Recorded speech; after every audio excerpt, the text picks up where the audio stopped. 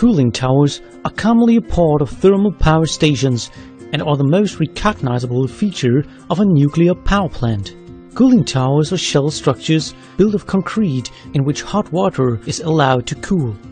Thereby, thermal energy is released to the environment. The most well-known form is the natural draft wet cooling tower, as shown in this animation.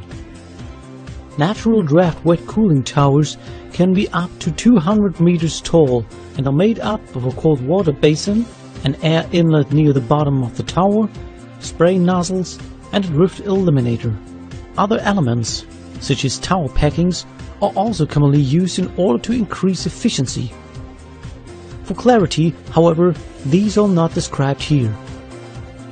Hot water is pumped to the spray nozzles. Natural convection draws cold air in from outside. The cold air cools the water.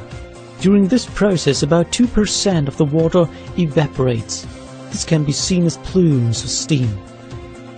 Natural draft wet cooling towers function according to the simple principle of the stack effect, also known as natural circulation.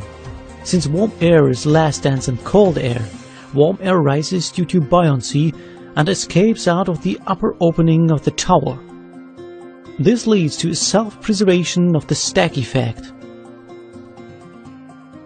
In nuclear power plants, cooling towers are responsible for the cooling of cooling water, which is used to cool down the secondary circulation system. The advantages of natural draft wet cooling towers are low energy consumption, low maintenance requirements, and low service life.